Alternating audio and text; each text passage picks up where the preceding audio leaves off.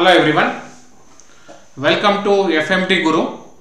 So today we are going to discuss one very interesting case that is known as traumatic asphyxia.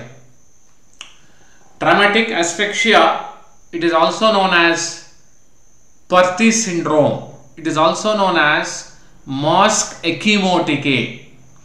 Okay, so in brief, you can remember traumatic asphyxia with the help of a mnemonic known as DP clear. The mnemonic is DP clear. So you can see there is a picture, the picture of traumatic asphyxia.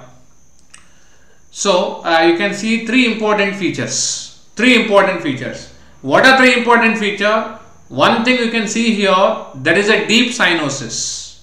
So D for deep cyanosis.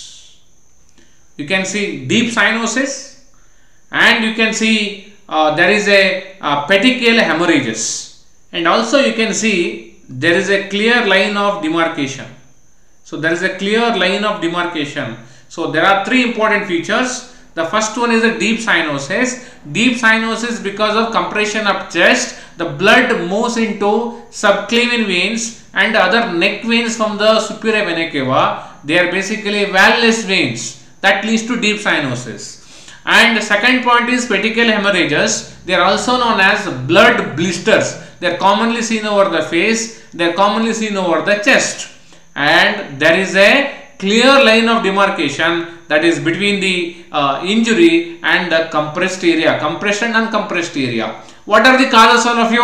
Causes are basically it can be an earthquake, it can be a landslide, it can be road traffic accident, it can be a riot crash, human pile death or in case of mechanic. So uh, while doing uh, while doing car repair it can be restraint asphyxia because of you know in mentally ill person all these are the causes. So uh, if you please remember mnemonic is dp clear. Deep uh, d for deep cyanosis p for petechial hemorrhages clear line of demarcation.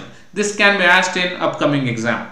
So in my experience i have seen one case of you know traumatic asphyxia. So uh, accidental traumatic asphyxia due to blunt chest trauma from an agricultural machine injury that is because of reverse movement of the tractor. You can see here there is a tractor and the body is suspended. The body is almost suspended because of the uh, you know reverse movement sudden reverse movement of the tractor. And you can see there is a traumatic asphyxia. You can see there is a abrasion. You can see there is a, a congestion is there. Cyanosis is there. So that's it about traumatic asphyxia. Thank you